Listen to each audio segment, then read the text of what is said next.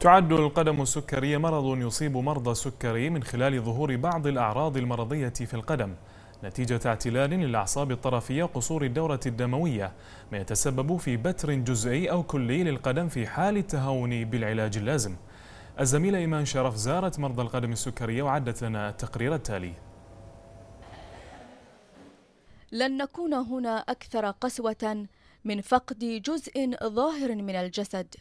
ولن نكون هنا أقل إيمانا بالوعد الإلهي المستلزم للجزاء الأوفى عند الصبر والاستسلام لما أقره الخالق من محبة لعبده فابتلاه ليزيد في حسناته. مرض القدم السكرية الذي يتسبب به مرض السكر إعلان للتمسك بالحياة لا للخنوع للمرض. هو مرض يصيب تركيبة القدم ووظيفتها بأضرار نتيجة مرض السكر. إحنا أولينا اهتمام خاص لهذين المرضى لأن هاي المرض لو انتهى ببتر له تأثير نفسي على الفرد وكذلك على المجتمع. فإحنا عندنا في وحدة جراحة الأوعية الدموية نعتني بذيلين المرضى وهي تعتبر وحدة متطورة على مستوى البحرين وعلى مستوى المنطقة ومتوفر فيها كل الخدمات. إحنا في غرفة القسطرة كذلك من الخدمات اللي نقدمها لدليل المرضى القسطرة للأطراف السفلية في حال تحتاجوا إلى قسطرة القدم السكرية ليس مرضا محددا بل هو أحوال مرضية متعددة. الشعور بها أو بإحداها يعني الإنذار بالإصابة بالقدم السكرية.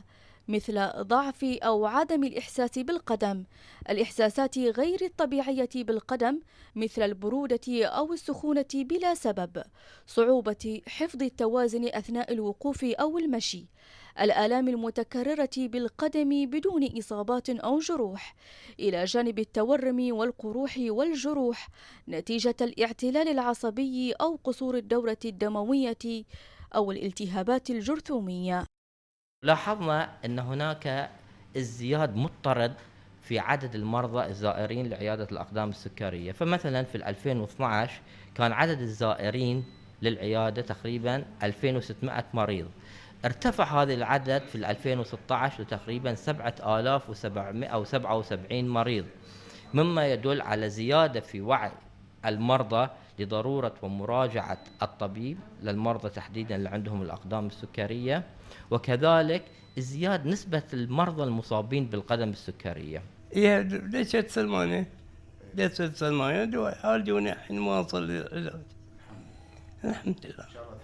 حلو الحين دسم سووا لي الحين يسمون العلاج حلو مضاد مضاد وتنظيفات وكل شيء. إن شاء الله على الله اصحى إن شاء الله. اقوم بالسلامه الأعراض بالنسبة دايس مسمار. صار لي شهر ما بريت. صادني التهاب مدري. فالحين الحمد لله واجد أحسن. اليوم سووا لي قسطرة في الرجول الحمد لله إن شاء الله أحسن. صار لي عشرة أيام واجد عناية ممتازة. ليل نهار بالعكس. الحمد لله.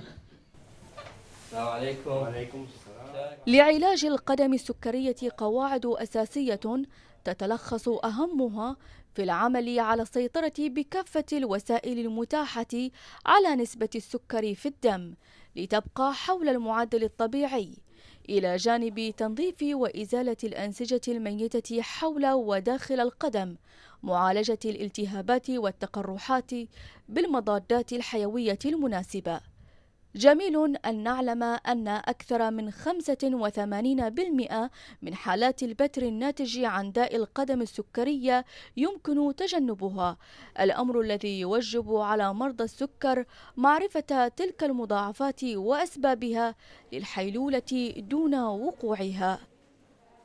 ولأن القدم السكرية مرض يصيب مرضى السكري.